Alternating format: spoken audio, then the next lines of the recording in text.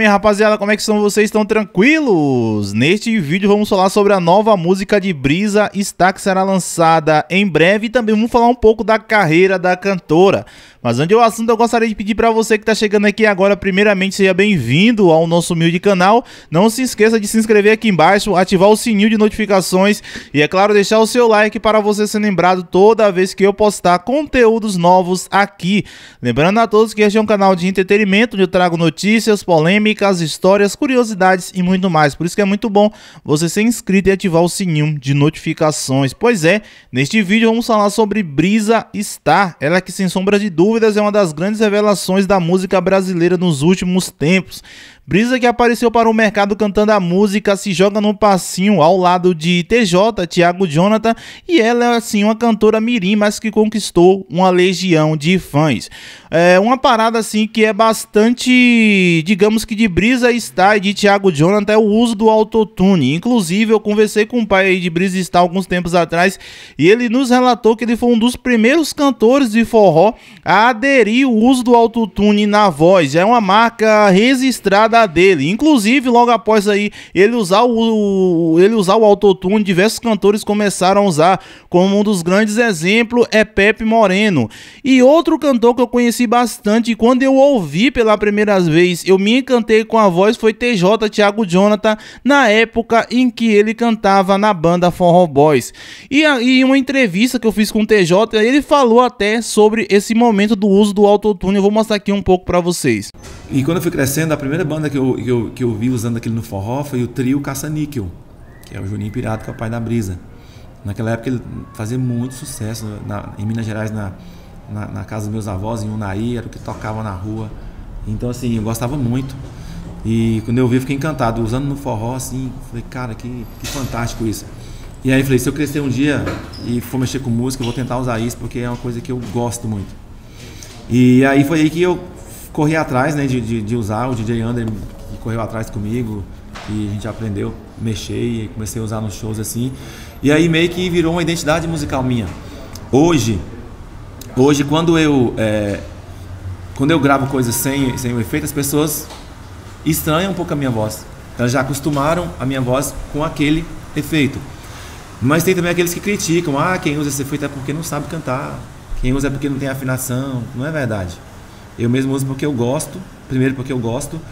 E segundo porque virou uma identidade musical minha. Hoje, vocês falando forró, quem usa uma pessoa que usa um efeito hoje no forró que é uma referência sou eu. É, exatamente. Você não estou falando me engrandecendo com isso, jamais.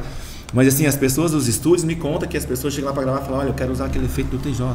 Pois é, rapaziada, e como TJ, Thiago Jonathan, da região ali de Minas Gerais e tal, é, ele era muito fã de Juninho do trio Caçanica, porque na época a banda fazia um grande sucesso e tempos passaram e TJ se encontrou com Brisa, que é filha de Juninho, e eles foram lá e, e cantaram a música juntos e hoje a música se tornou aí esse grande sucesso. E uma das coisas que me chama bastante atenção de Brisa está é o jeito dela cantar, que pra mim ela canta super bem, e alguns sites já estavam até intitulando ela como a fada do forró. E aí, vocês concordam com esse apelido que colocaram em Brisa Está? Deixa aqui embaixo no comentário, deixa aqui também se vocês gostam da cantora ou não gostam, enfim.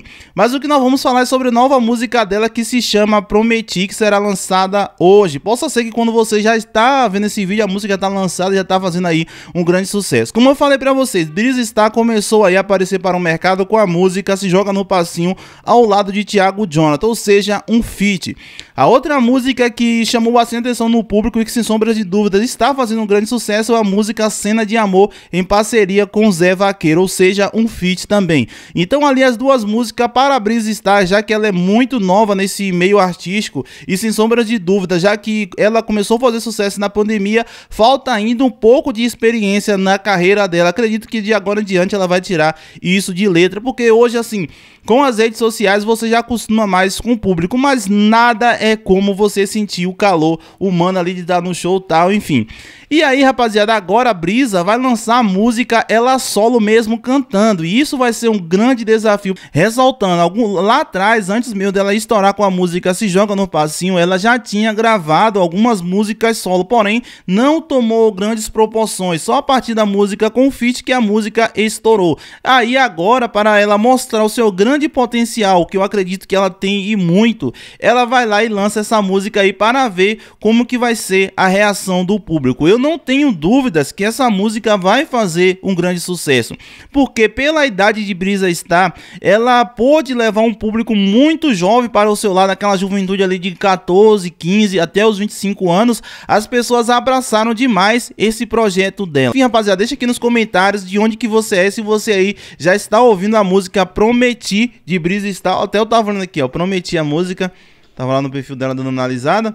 E aí, rapaz, eu acho que essa música aí vai pegar. E sem sombra de dúvida, a brisa é um sucesso. Gente, esse foi o vídeo de hoje. Eu espero que vocês tenham gostado. Se você gostou, deixa aqui embaixo nos comentários. E muito obrigado. Não se esqueça de assistir esse videozinho que tá aparecendo aqui lá. Pensar muito top, você vai gostar demais. Um abraço e até qualquer momento.